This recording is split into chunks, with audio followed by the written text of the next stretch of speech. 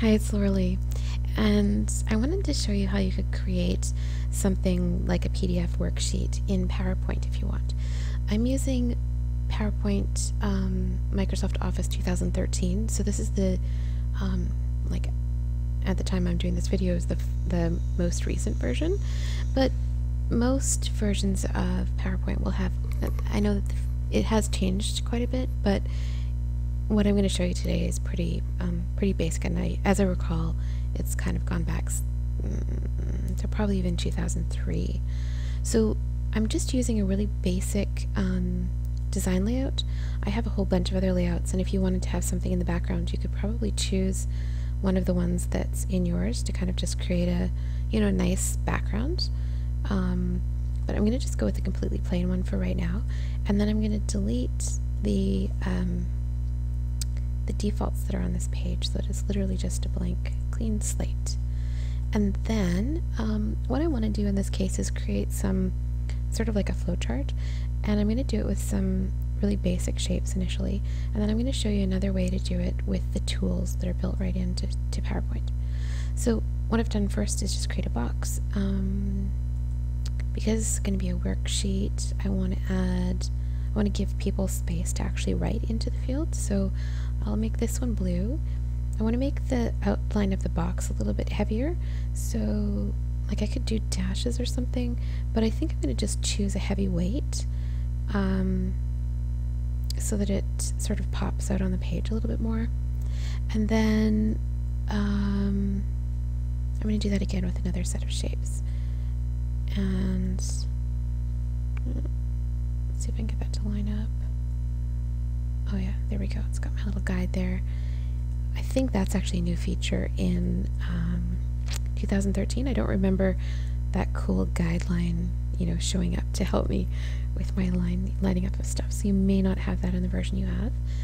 Um, going back to insert again, shapes, and um, I'm going to do an arrow from this one to this one to kind of show that piece or show that part of the process and go back to weighting again because I kind of like that bolder line.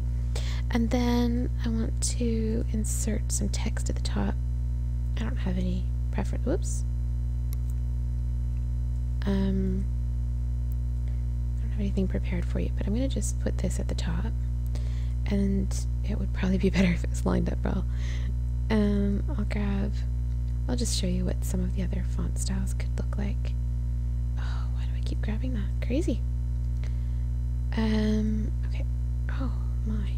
Well, at least you get to see how you can move things around. it's not that hard. Um, okay, so just put that there. Put that over there.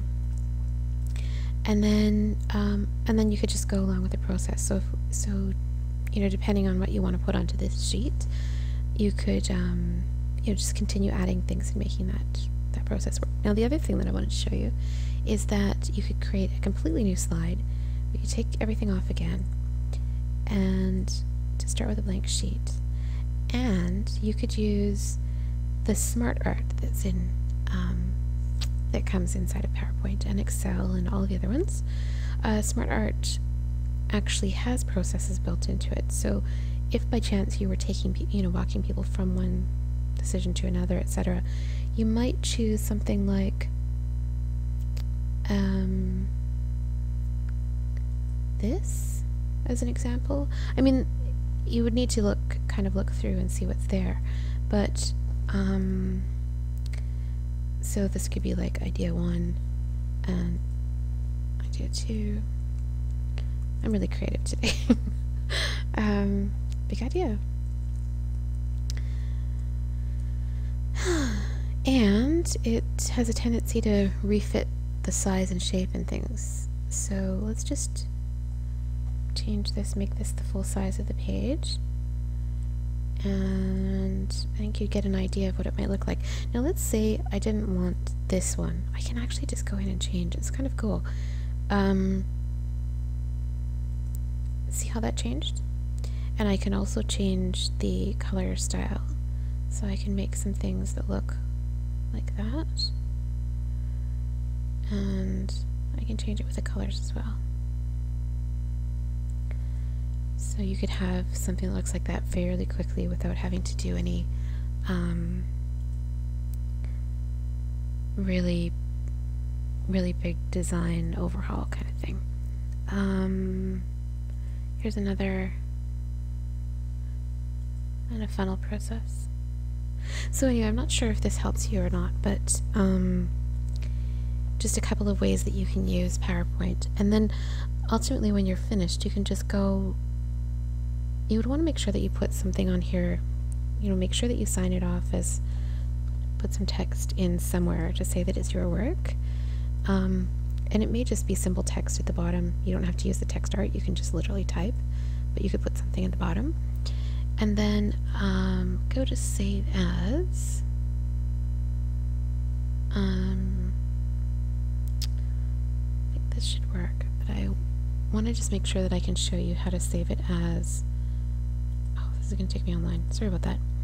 Um, I want to make sure that you can that we can save it as a PDF from this method versus going to export. Uh oh, I've frozen it.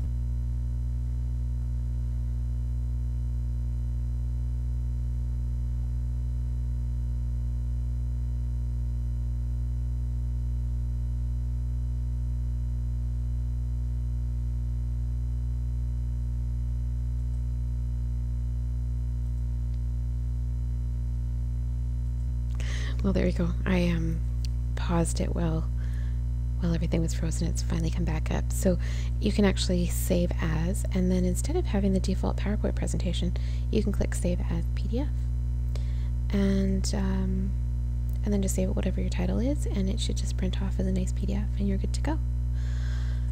Um, I hope this helps. And if you have any other questions, please let me know. Okay. Talk to you soon. Bye for now.